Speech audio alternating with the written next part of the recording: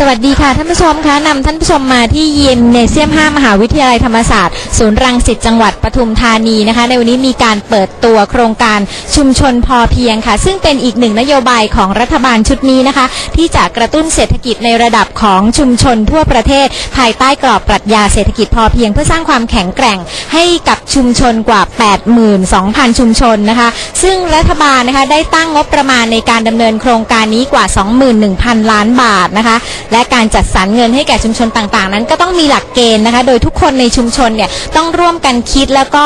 เอ่อนำเสนอโครงการในการพัฒนาชุมชนของตนเองแก่สำนักงานชุมชนพอเพียงเพื่อทำการคัดเลือก และก็มอบเงินให้แต่ละชุมชนต่อไปค่ะ ช่วงนี้นะคะนำท่านผู้ชมเข้าสู่บรรยากาศของพิธีเปิดกันเลยค่ะ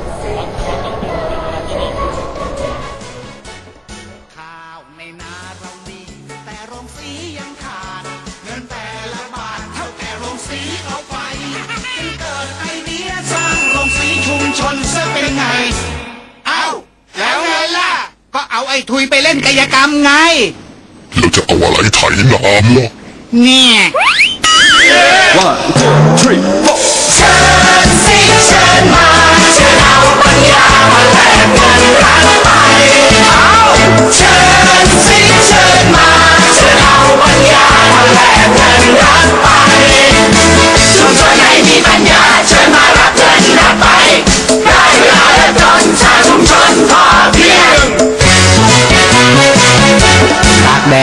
ตัวดำทำสวนหน้าแดงกระเป๋าที่แพงปุ๋ยแพงเหลือหลายถ้าสร้างโรงปุ๋ยทุนเงินคงไม่ละลายเอาเงินที่ไหนล่ะ ไม่ยากหรอก เราก็ไปเป็นผู้กำกับหนังโฆษณาไง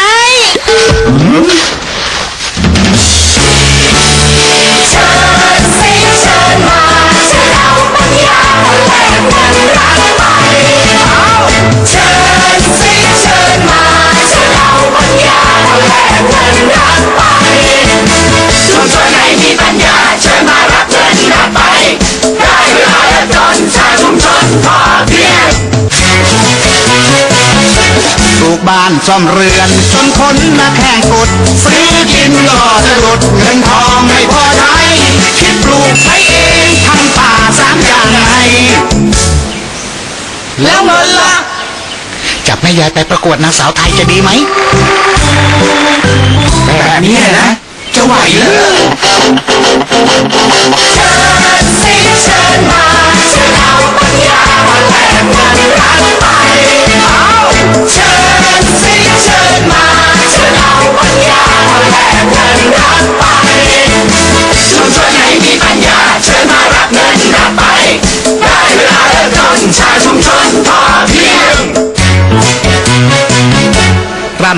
น้ำใจแต่น้ำแรงจะไม่มีทำใช้แต่ละทีถ้าไปบ้านตะไคร้เกิดความคิดโตทำประปาแสงอาทิตย์ไทยแล้วจะเอาเงินมาจากไหน ฉันก็จะไปประกวด Academy Fantasia AF AF นี่แหละเสียงจะกระพายออกลูกเฮ้ One, two, three, four. เชิญสิเชิญมาเชิญเอาปัญญามาแลกเงินรักไปเอา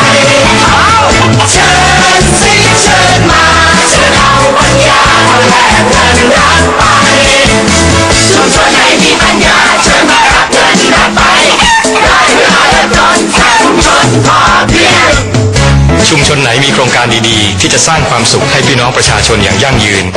ตามหลักปรัชญาเศรษฐกิจพอเพียง รัฐบาลพร้อมที่จะให้เงินทุนสนับสนุนครับ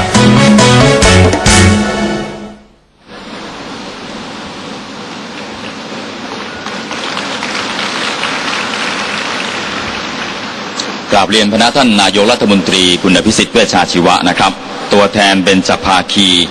สื่อมวลชน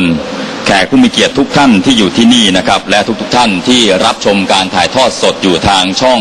NBT นะครับ วันนี้ผมเป็นตัวแทนขอกล่าวต้อนรับทุกท่านเข้าสู่บรรยากาศการเปิดตัวโครงการชุมชนพอเพียง วันนี้ได้รับเกียรติจากท่านนายกมาเปิดด้วยตัวเองนะครับ พร้อมกับสายฝนนะฮะครึ้มเลย ท่านได้ชมจบไปแล้วนะครับ โฆษณา 4 เวอร์ชั่น 4 ชุด หลายท่านคงมีโอกาสได้ชมทางโทรทัศน์มาแล้วนะครับ เป็นโฆษณาที่เห็นได้ว่าโครงการชุมชนพอเพียง ไม่เพียงแต่จะส่งเสริมให้ทุกชุมชนอยู่อย่างพอเพียง แต่โครงการนี้ก็ยังจะเป็นเครื่องมือในการพัฒนาเศรษฐกิจในชุมชนของทุกๆทท่าน ให้แข็งแรงและก็มีความยั่งยืนอีกด้วยนะครับ ไม่ใช่ว่าทำครั้งหนึ่ง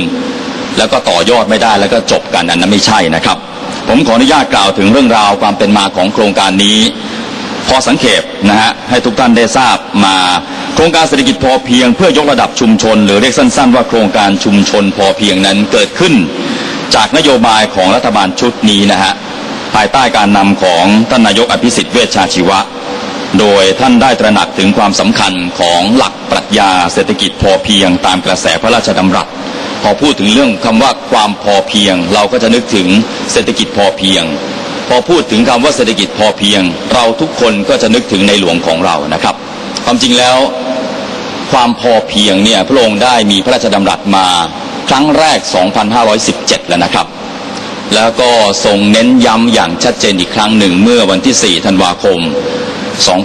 2540 ตอนที่บ้านเรานั้นมีปัญหาวิกฤตเศรษฐกิจนะครับ ตอนนั้นเพื่อเป็นแนวทางในการแก้ไขปัญหาเศรษฐกิจของชาติ ไม่น่าเชื่อนะครับ 12 ปีผ่านไป ตั้งแต่ปี 40 จนบัดนี้เนี่ยยังมีหลายท่านเข้าใจสับสนถึงคำว่าเศรษฐกิจพอเพียง วันนี้โครงการชุมชนพอเพียงจึงได้ถือกำเนิดขึ้นนะฮะเพื่อสร้างทางรอดให้เศรษฐกิจชาติ สร้างภูมิคุ้มกันให้เศรษฐกิจชุมชน โดยกำหนดเป็นนโยบายเร่งด่วน โดยความร่วมมือของเบญจภาคี นั่นคือ 5 กลุ่มพลังในสังคมนะฮะ ซึ่งผู้ร่วมงานที่อยู่ในที่ยิมเนเซียม 5 แห่งนี้นะครับ แต่ละท่านที่เข้ามานั่งอยู่แต่ละส่วนนั้น ท่านก็อยู่ในส่วนของแต่ละเบญจภาคี โดยดูจากสติกเกอร์บนหน้าอกของท่านนะครับ ภาคีที่หนึ่งชุมชนและปราชชาวบ้าน คือสีน้ำเงิน ที่มาวันนี้ก็คือผู้นำชุมชนและปราชชาวบ้านจากทุกจังหวัดทั่วประเทศนะครับ ภาคีที่สองประชาสังคม สีเขียวนะครับ มูลนิธิและองค์กรอิสระต่างๆ ภาคีที่สามคือภาควิชาการ สีเหลือง ได้แก่อาจารย์นักวิชาการอิสระ มหาวิทยาลัยนะครับ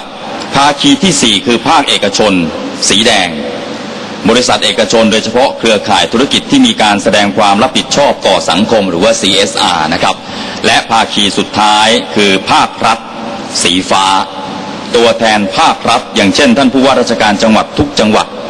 ณะกรรมการบริหารโครงการสำนักงานปลัดสำนักนายก ธนาคารอมสิน และธนาคารเพื่อการเกษตรและสหกรณ์การเกษตรห้าเป็นจัภาคีนี้